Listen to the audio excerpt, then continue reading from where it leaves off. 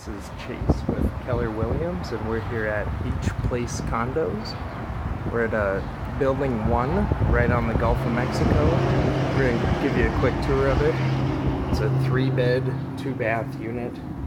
Um, does need some carpet replaced and taken out, but for the most part, this is this is all done, ready to go. So the first bedroom has its own closet and access to the hall bath here. Take you in there next. Here's the second bedroom. Like I said, right across the street from John's Pass, which is a big benefit. Does have a separate laundry and storage area. A lot of people use this as an owner's closet as well. That's why all the shelving is in here.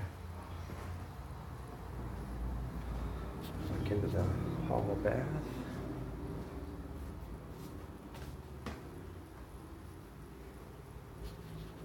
That is connected to the first bedroom.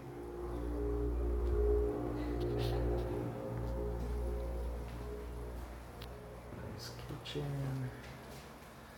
Cabinets probably be painted white. It would lighten it up in here a little bit. Go to the master bath.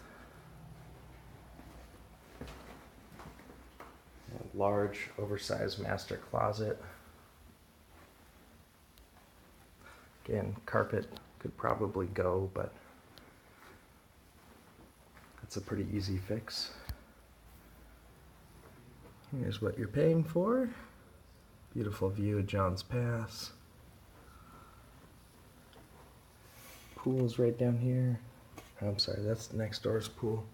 Your pool's down here on the left.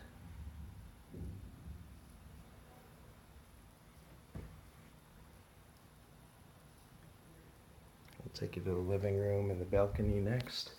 There's access to the balcony from the master bedroom.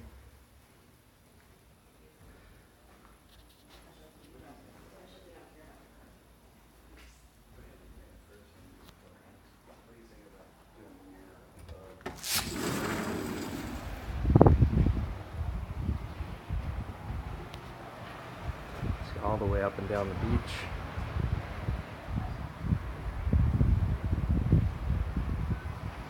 So this is a three bed, two bath unit with under building parking. They allow weekly rentals. There's on-site rental management and asking price is $5.99. Again, this is Chase with Keller Williams. Thanks for tuning in.